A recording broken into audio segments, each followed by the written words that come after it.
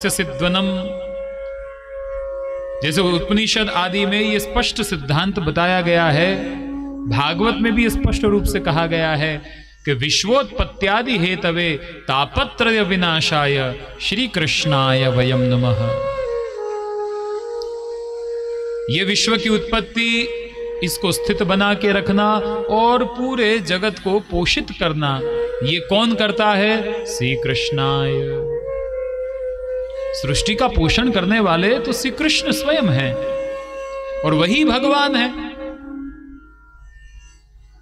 और नंदराई जी कह रहे हैं, परजन्यो भगवान इंद्र के इंद्र भगवान है। अब भगवान दो तो नहीं हो सकते, एकम ब्रह्म, द्वितीय नास्ति। ब्रह्म तो केवल एक ही है। श्रुति वेद कहता है। और ये इंद्र को भगवान मानकर इसकी पूजा कर रहे हैं। इंद्र को भगवान की विभूति मानकर पूजा किया जाए तो वो स्वीकार्य है, लेकिन इंद्र को ही भगवान मानकर पूजा करना तो आचार्य श्री आज्ञा कर रहे हैं कि ये जो यज्ञ होता था, वो शास्त्रोक्त नहीं है, वेदोक्त नहीं है, क्योंकि श्रोत कर्म होते हैं, स्मार्त कर्म होते हैं, न ये श्रोत है, न स्मार्त है तो भगवान कहते हैं, फिर तो इसको करने का कोई मतलब ही नहीं है। यानी इन ब्रजवासियों के अज्ञान को दूर करने के लिए आपने इंद्र याग का भंग किया, गोवर्धन लीला का प्रकार बताया। कई बार हम सबको भी परंपराओं में धर्म मिलते हैं, पूजा अर्चना आदि के प्रकार परंपराओं में भी हमारे बाप दादा या पीढ़ियों ने ये किया तो उन परंपराओं में ही धर्म रहा हुआ ऐसा ज़रूरी नहीं है कि वो करते आए तो हम भी करें।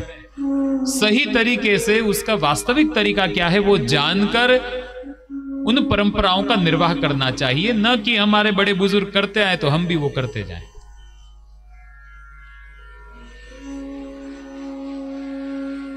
प्राचीन काल से आप ये पूजा करते आ रहे हैं कि ये व्रत हम करते आ रहे हैं, या ये पंचदेव की पूजा करते आ रहे हैं, या ये उपासना। लेकिन वो शास्त्रोक्त है या नहीं, उस विषय को जानकर और फिर उन परंपराओं का निर्वाह करना चाहिए। यहाँ ये परंपरागत ये धर्म चल रहा था, ये यज्ञ चल रहा था, लेकिन भगवान ने बताया कि भाई ये यज्ञ प्रभु कहते हैं कि बाबा आपकी बात को अगर मैं ये मानूं कि चलो इंद्र वृष्टि करता है और इंद्र से सृष्टि का जनकत्व चलता है यानी सृष्टि को पोषण देता है और उससे अपन को सुख दुख का अनुभव होता है। तो जो इंद्र ही सुख और दुख का अनुभव कराने वाला है तो फिर हमारे कर्मों की क्या महिमा रह जाएगी? तो कर्म का तो कोई मतलब ही नहीं है।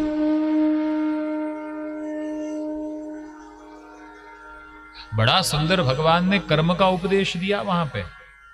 देखिए, एक तो गीता जी में भगवान ने कर्म का उपदेश दिया, अर्जुन को निमित्त बनाकर। और यहाँ पे ब्रजलीला अंतर्गत भी भगवान ने सब ब्रजवासी वहाँ पर हैं और प्रभु कह रहे हैं, कर्मणा जायते जंतु कर्मणे विलीयते, सुखम, दुखम, भयम, क्षेमम कर्मणे विपद्यते। हम मनुष्यों के जीवन में दुख या सुख, ये हमें हमारे कर्म के आधार पर ही मिलता है। भय, क्षेम, ये सब कर्म के आधार पर हमें प्राप्त होता है। हमारे सुख और दुख का कारण अन्य किसी को मानना यह मनुष्य का सबसे बड़ा अज्ञान कहा जाता है। जो हम अपने सुख और दुख के कारण अन्य किसी को मानेंगे तो तो सुख दुख की निवृत्ति कभी होगी ही नहीं। क्योंकि वो दूसरा तो हमेशा कोई ना कोई रहने वाला ही है। यानी याद रखिए प्रियजनों, अपने जीवन में सुख और दुख केवल और केवल हमारा कर्म के आधार पर क्योंकि कर्म भी कई प्रकार के हैं।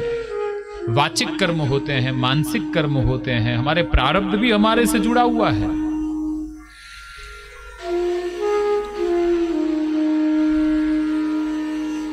यानी वो प्रारब्ध आदि के कर्मों के चलते ही कर्म तो हाँ, सबको भोगने ही पड़ते हैं फिर वो सुख रुख में हो या दुख रुख में।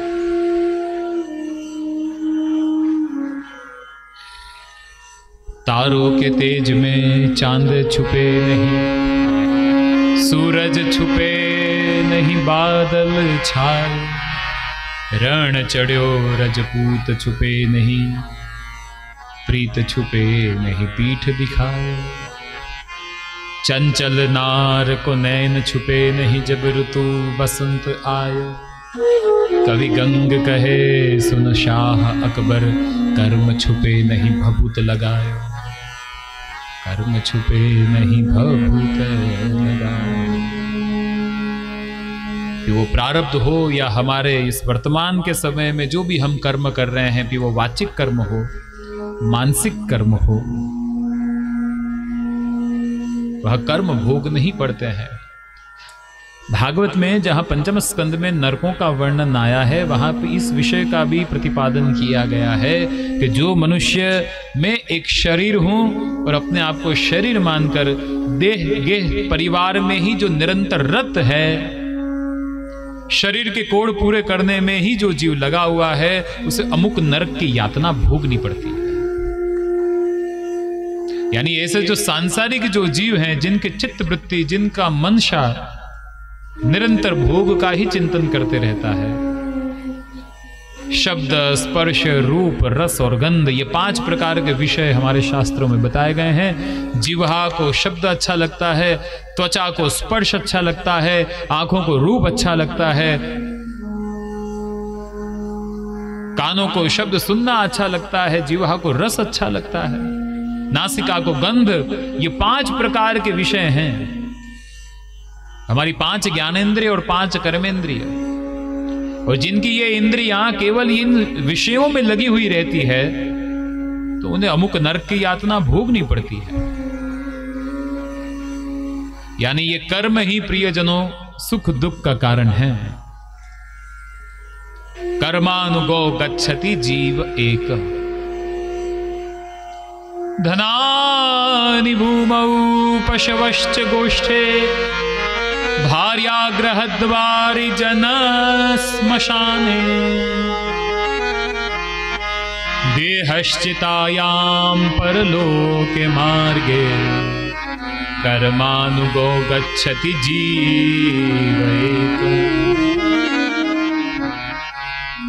बड़ा सुंदर विषय का यहाँ पे निरूपण किया गया कि मनुष्य जिन चीज़ों के लिए निरंतर प्रयत्नशील है, गतिशील है, चिंतनशील है, वो सब वस्तुएँ तो पृथ्वी पर ही रह जाती हैं जब परलोक के मार्ग में जाने का समय आता है। किसके लिए हम प्रवृत्तिशील हैं, किसके लिए चिंतनशील हैं, किसके लिए गतिशील हैं? धन। लेकिन जब परलोक के मार्ग में जाने का समय आता है तो धनानि भूमो।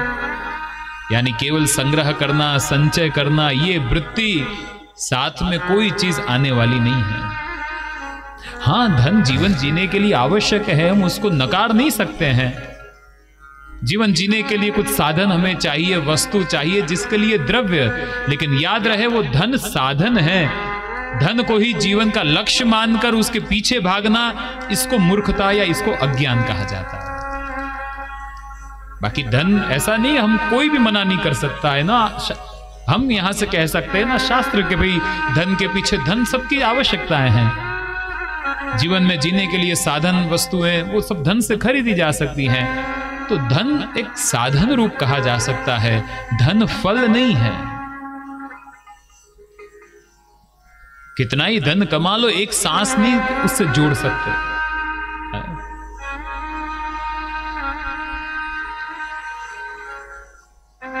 जीवन की वस्तुएँ इकट्ठे करने में मूल जीवन को न भूल जाएँ।